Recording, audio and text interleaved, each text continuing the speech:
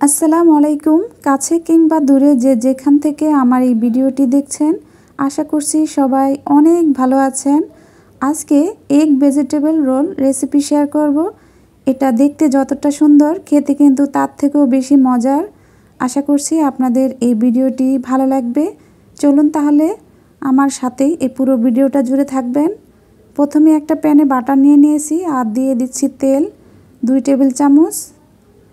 তেল আর বাটারটা গরম হয়ে গেছে। এখন দিয়ে দিব এক টেবিল চামচের মতো রসুন কুচি। একটু হালকা ভেজে নিব রসুনটাকে। এ পর্যায়ে দিয়ে দিব দুইটা কাঁচামরিচ কুচি। ঝালটা আপনারা আপনাদের পছন্দ মতো দিবেন। এখন দিয়ে দিব পেঁয়াজ কুচি। আমি এখানে ছোট সাইজের দুইটা পেঁয়াজ কুচি করে দিয়েছি। পেঁয়াজটাকে একটু হালকা ভেজে নিব। এই পর্যায়ে দিয়ে দিব গাজর কুচি। এখানে গাজর কুচি এক কাপের মতো ব্যবহার করেছি। গাজরটা যেহেতু সিদ্ধ হতে একটু সময় নেয়, অন্য সবজি দেওয়ার একটু আগে গাজরটা এক মিনিটের মতো দিয়ে ভেজে নেব। কিছুটা সময় আমি গাজরটাকে ভেজে নিয়েছি। এখন দিয়ে দিব ক্যাপসিকাম। আমি এখানে এক কাপের মতো ক্যাপসিকাম ব্যবহার করব। আর দিয়ে দিব বাঁধাকপি। আমি এই কালারের বাঁধাকপিটা ব্যবহার করেছি। আপনাদের কাছে যে কালারই থাকে সেটাই ব্যবহার করতে পারেন। এখন দিয়ে দেব স্বাদ মতো লবণ। এখন সবজিটাকে খুব ভালোভাবে রান্না করে নিব। ক্যাপসিকামটা দিলে রোলটা যখন খাবেন, দাঁতের নিচে ক্যাপসিকাম পড়বে, খেতে তখন আরও বেশি ভালো লাগবে। সবজিটা অনেকটা সফট হয়ে গেছে, এখন আমি একটা সাইড করে দিচ্ছি। এই পর্যায়ে আমি একটা বাটিতে তিনটা ডিম ভেঙে নিয়েছি। এখন দিয়ে দিচ্ছি। ডিমটাকে ভেজে নিব। ডিমের উপরে কিছুটা লবণ আমি ছিটিয়ে দিব। আর সামান্য এক চিমটির মতো কালো গোলমরিচের গুঁড়া দিয়ে দিব। এতে করে সুন্দর একটা ফ্লেভার আসবে। এখন ভালো করে মিশিয়ে নিব। ডিমটাকে একটু ঝুরঝুরা করেই ভেজে নিতে হবে। এতে করে সবজির সাথে খুব ভালোভাবে মিশে যাবে।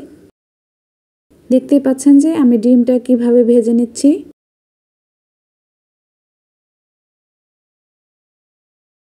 এখন সবজির সাথে মিশিয়ে দেব।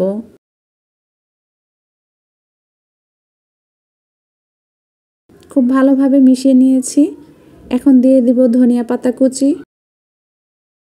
কিছুটা ধনিয়া পাতা কুচি দিয়ে আবারও একটু ভেজে নিব। এখন দিয়ে দিব কর্নফ্লাওয়ার। আমি দুই টেবিল চামচ কর্নফ্লাওয়ার একটু পানিতে মিশিয়ে নিয়েছি। এতে করেও সবজিটা অনেক সফট হয়ে যাবে আর রোল বানাতেও অনেক সুবিধা হবে। এখন নেড়ে ছেড়ে কিছুটা সময় আবারও ভেজে নেব। সবজিটা আমার রান্না হয়ে গেছে, দেখতেই পাচ্ছেন। এখন এটাকে নামিয়ে সাইডে রেখে দেব আর ঠান্ডা হওয়ার পরেই রোলগুলো বানাবো।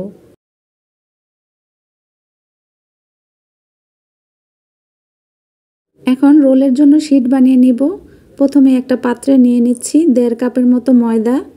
আটা বা ময়দা যেটা থাকে সেটা দিয়ে আপনারা বানাতে পারেন। আর দিয়ে দিচ্ছি স্বাদ মতো লবণ। এখন অল্প অল্প পানি দিয়ে একটা পাতলা মিশ্রণ তৈরি করে নেব। একেবারে বেশি পানি দেব না। অল্প অল্প করে দিয়েই মোটামুটি একটা পাতলা মিশ্রণ তৈরি করে নেব।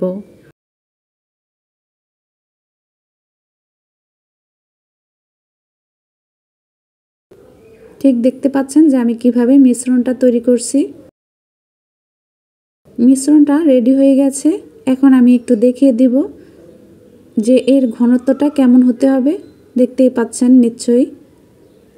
এমনটা হলে রুটিটা একদমই পাতলা হবে আর একটা পারফেক্ট রুটি হবে।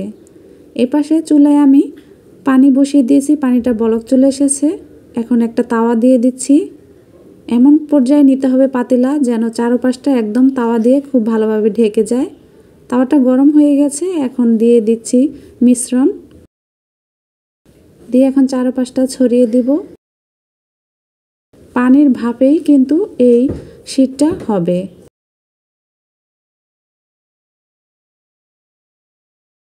একেবারে সহজ পদ্ধতিতেই আমি এই শীটগুলো বানিয়ে নেব। দেখতে পাচ্ছেন যে কত সুন্দরভাবে কিন্তু উঠে আসছে।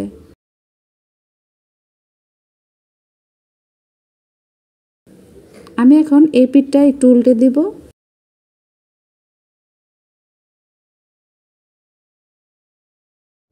এই পিঠটাও কিছুটা সময় আমি ভেজে নেব।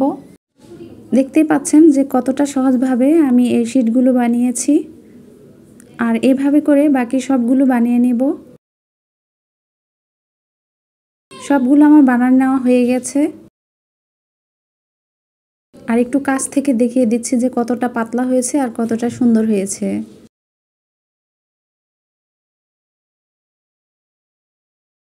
আর পাশে একটা বাটিতে আমি দুই টেবিল চামচের মতো নিয়ে নিচ্ছি ময়দা। একটু পানি দিয়ে ঘন একটা মিশ্রণ তৈরি করব। একদম পাতলা করা যাবে না, মোটামুটি ঘন করেই, ঠিক এমনটা।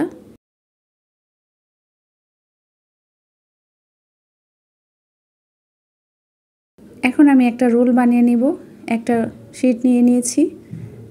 এখন একটা সাইডে ভেজিটেবলগুলো দিয়ে দিব।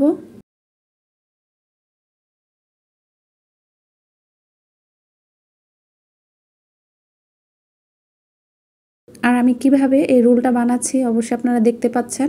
একদম সহজ।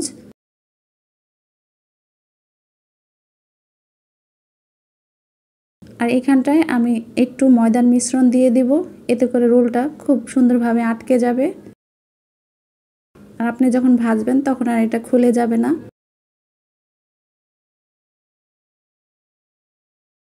এভাবে করে বাকি সবগুলো রোল আমি বানিয়ে নিব। সবগুলো রোল আমি একইভাবে বানিয়ে নিয়েছি। আর এভাবে আপনারা ডিপ ফ্রিজে ফ্রোজেন করে রাখতে পারেন। একটা এয়ারটাইট বক্সে করে একদম পুরো এক মাস জুড়ে এই রোলগুলো খেতে পারবেন, কোনো সমস্যাই হবে না। এখন কিছুটা রোল আমি ভেজে নেব। চুলায় তেল বসিয়ে দিয়েছি, তেলটা গরম হয়ে গেছে। এ পিঠ আমি দুই থেকে তিন মিনিটের মতো ভেজে নেব। এখন উল্টে দিব। অপর পিঠও আমি তিন মিনিটের মতো ভেজে নেব।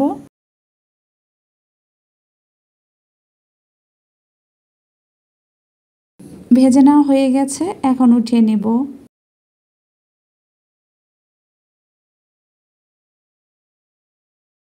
আর এই এগ রোলটা খেতে কিন্তু খুবই মজার হয়েছে, আপনারা এটা বাসায় ট্রাই করতে পারেন, খুবই মজার। আমি একটা ছিঁড়ে দেখাচ্ছি। খুবই সুন্দর হয়েছে, খেতেও খুবই মজার হয়েছে। আমার ভিডিওটি যদি আপনাদের কাছে ভালো লাগে প্লিজ ভিডিওতে একটা লাইক দিবেন। আর কমেন্ট করে জানাবেন কেমন হয়েছে। এতক্ষণ পর্যন্ত আমার সাথে থাকার জন্য অসংখ্য ধন্যবাদ। আল্লাহ হাফেজ।